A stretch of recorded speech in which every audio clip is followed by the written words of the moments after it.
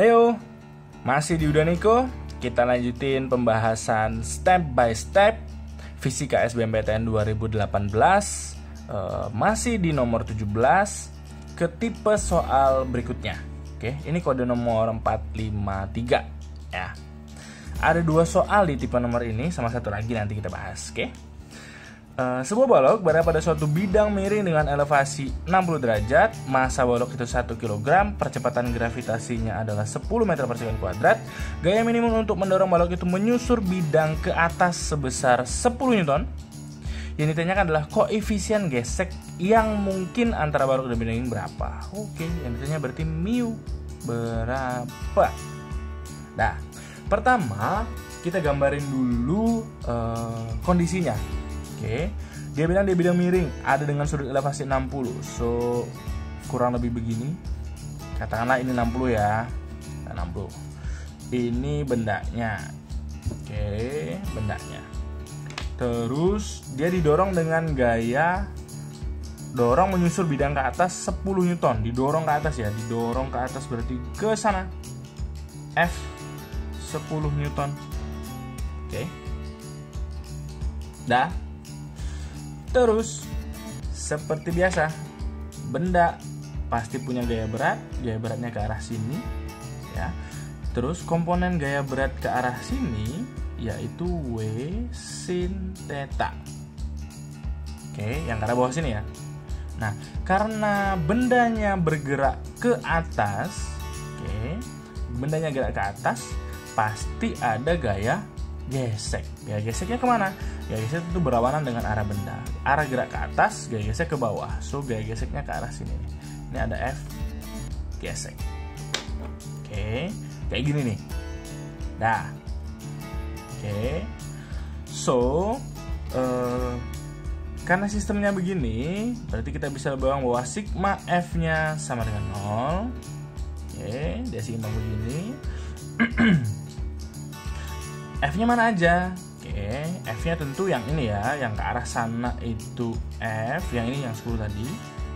Nah, terus ada dua gaya yang ke arah bawah sini ya. So berarti dia berlawanan arah, jadi minus W sin theta minus lagi F gesek sama dengan 0. Oke. Biar gaya minimumnya ya.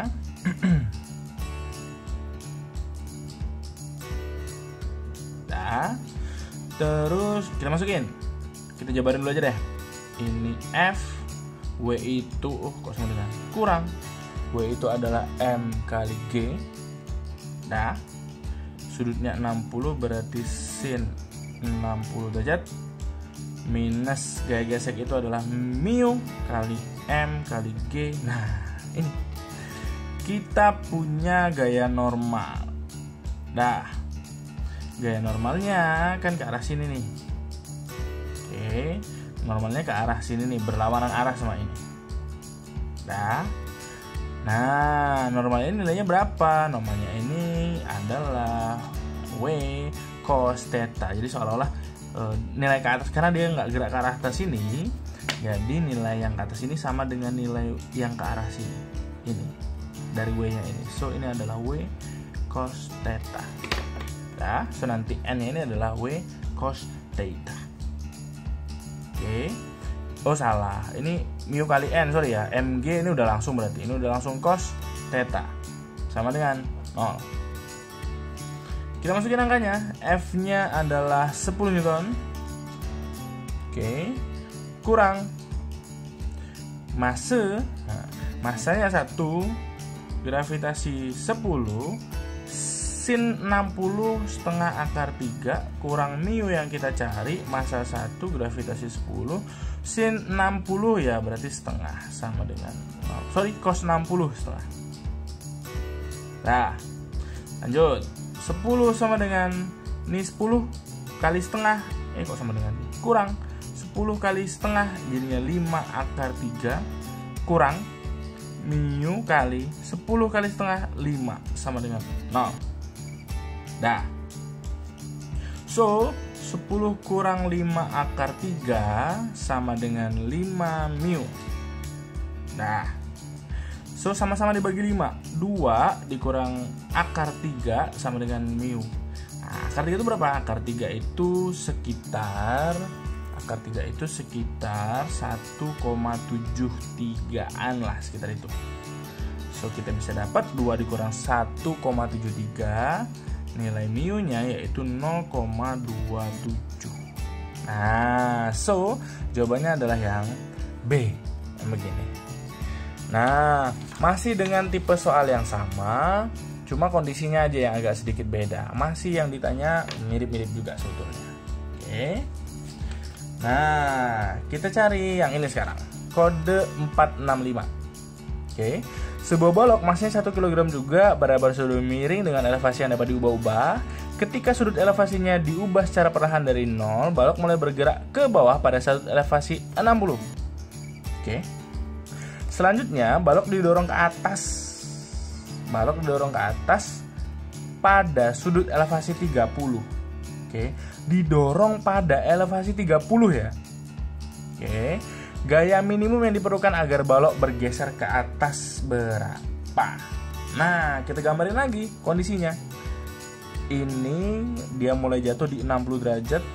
Katakanlah ini 60 derajat. Kurang lebih saudara-saudara.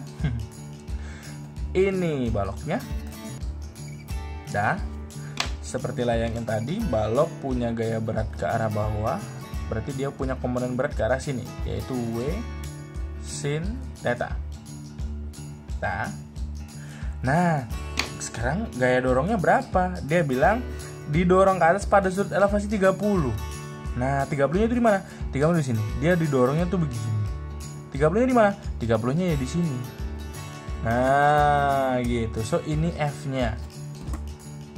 Oke, so ini F-nya. Nah, yang ditanya kan berapa gaya minimum yang diperlukan agar balok bergeser ke atas ya? Nah, ini kan eh, 30 ya. Ini kan F-nya masih ke arah sini. So, sekarang kita cari F yang ke arah sebelah sana. Ibaratnya saya gambarin ulang nih. F-nya gini.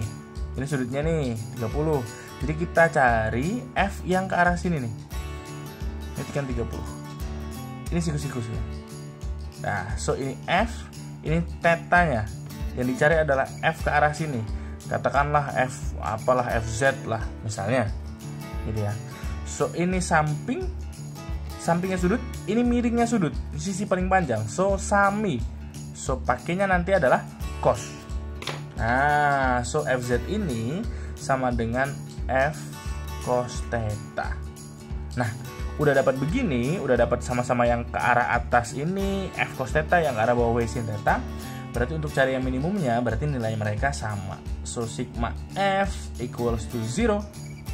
Nah, so nilai F cos theta Oke. Okay. Sama dengan W sin theta. Nah, nah tapi ingat tetanya beda loh ya. Tetanya F itu yang 30 ini, tetanya sin itu yang bawah sini ya. Oke, hati-hati. So, sekarang yang punya F, ini cosnya saya tulisin deh. Ini cosnya 30 derajat. W itu M kali G. Sudutnya ini adalah 60 derajat. Hati-hati. Kita cari F.